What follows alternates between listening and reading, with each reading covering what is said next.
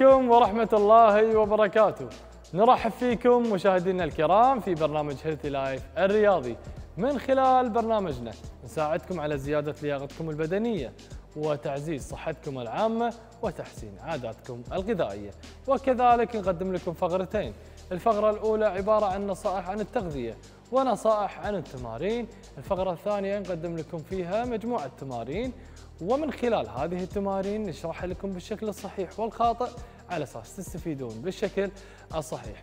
اليوم إن شاء الله راح نتكلم عن آه، رياضة الكروسفيت ورياضة كمال الاجسام والأشخاص اللي يكون وزنهم عالي فيختار أي رياضة منهم.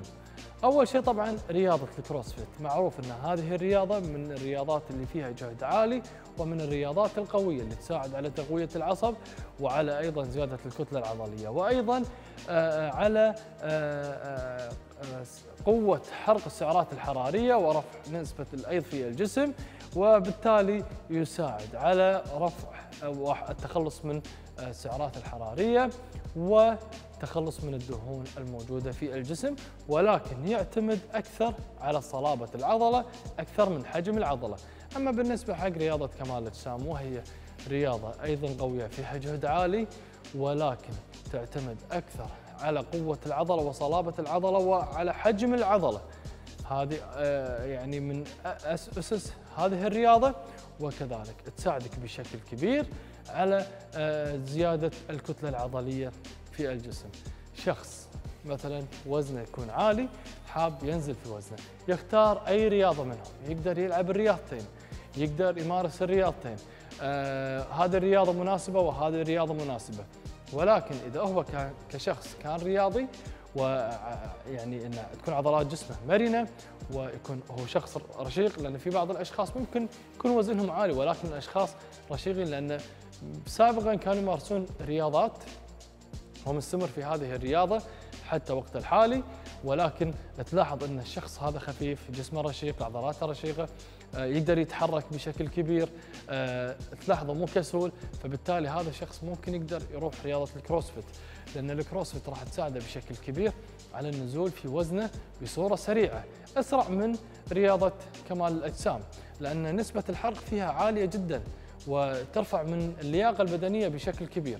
فرياضة ال CrossFit راح تكون مناسبة له خصوصا هذه الرياضة تكون فيها مثلا آه، حسب طبعا الجداول مرات يكون تمرين ال snatch على تمرين مثلا ال squat على تمرين ال push up على تمرين آه، العقلة نفسها على تمارين أخرى على ال row أجهزة ال row يعني تكون هذه كلها مثلا جولة لمدة تقريبا 20 آه، ثانية أو مثلا عفوا لمدة دقيقتين أو ثلاثة أو لمدة خمس دقائق فتكون طريقة التمرين بهذا الشكل. فهذه راح تساعده بشكل كبير على خسارة الدهون بشكل عالي. أما بالنسبة حق رياضة كمال الأجسام يقدر يمارس أيضا رياضة كمال الأجسام. ولكن بعض الأشخاص عندهم مثلا بعض الأمور الخاطئه ممكن إنه يبني عضل على الدهون.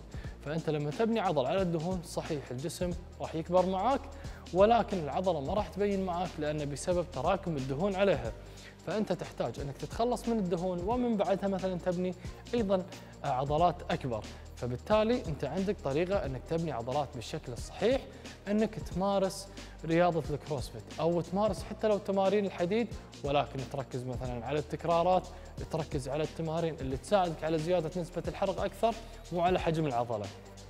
فإذا أنت حاولت قدر المستطاع أنك تزيد من البنية العضلية ولو آه، آه، نسبة قليلة لما تخسر دهون راح آه، الجلد يستند على العضلة فبالتالي عملية الترهلات أو السليولايت ما راح تظهر معك بشكل كبير راح تقل معك بنسبة عالية.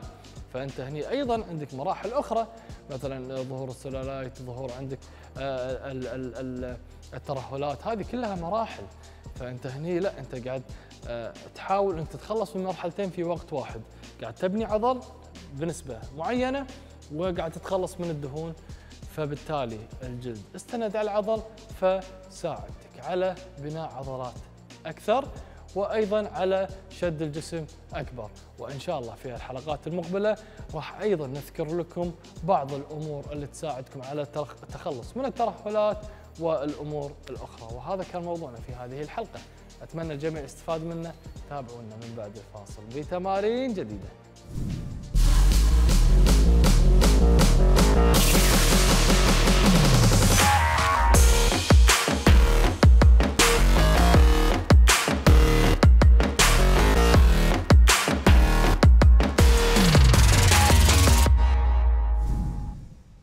رجعنا لكم مشاهدينا الكرام من بعد الفاصل. راح أقدم لكم مجموعة تمارين مع الجهاز الموجود معنا في هذه الحلقة وهو سير المقاومة. طبعا سير المقاومة من الأجهزة اللي هي تعتبر أجهزة منزلية تقدر تستخدمها في المنزل وكذلك دائما قوة السير على سماكة السير. طبعا سماكة السير في أنواع. كل ما زادت سماكة السير كل ما آه، آه، زادت قوة مقاومة السير. أول شيء طبعا التمرين الأول راح يكون كالتالي. راح أثبت سير المقاومة بهذه الطريقة أحرك الذراع بهذا الشكل. هذا التمرين راح يستهدف لي عضلة الأكتاف الأمامي بهذا الشكل. لاحظ وبهذه الطريقة مستوى الذراع راح يكون على مستوى الأكتاف. بمعنى أني ما أصعد بهذا الشكل أو بهذه الطريقة فقط على هذا المستوى. عدد التكرارات راح يكون 15 تكرار في ثلاث جولات. هذا التمرين الأول. التمرين الثاني أيضا راح ألعب بهذه الطريقة. أحرك الجسم بهذا الشكل. أثبت جسمي. بهذه الطريقة والصعود إلى الأعلى. هذا التمرين راح يساعدني على استهداف العضلة الأمامية أيضا للأكتاف. لاحظ؟ بهذا الشكل. أخذ الذراع. الثانية بهذا الشكل وأحرك إلى الأعلى بهذه الطريقة. عدد التكرارات 15 تكرار في ثلاث جولات. الحين راح أستهدف عضلة التراي أو عضلة آه، الذراع الخلفي. راح أثبت سير المقاومة بهذه الطريقة. لاحظ أثبت ذراعي بهذا الشكل أحرك بهذه الطريقة.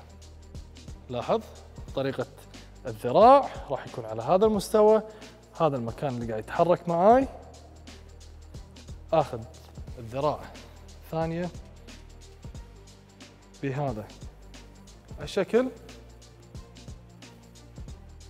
وبهذه الطريقة. عدد التكرارات 15 تكرار في ثلاث جولات. التمرين اللي بعده راح يكون كالتالي راح أثبت. السير بهذه الطريقة وأسحب بهذا الشكل. هذا التمرين راح يستهدف لي عضلة البيطان اللي هي عضلة الظهر. لاحظ ثبات الجسم الصدر إلى الأمام الرجلين بهذه الطريقة. أسحب بهذا الشكل. عدد التكرارات راح يكون 15 تكرار في ثلاث جولات. طبعا سير المقاومة ألاحظ أنه تساعدني على استهداف أجزاء مختلفة من جسمي وأيضا راح يساعدك بشكل كبير أنه ممكن يستهدف لك عضلات جسمك بالكامل. فسير المقاومة دائما الشخص اللي يتمرن تمارين منزلية. دائما خل معك هذا السير على أساس يستهدف لك جسمك بالكامل وكذلك. يساعدك في آه، آه، إنك تنوع في التمارين المنزلية. وهذا كان تمرين اليوم إن شاء الله. أتمنى الجميع يستفاد منه. تابعونا بحلقات مقبلة بتمارين جديدة.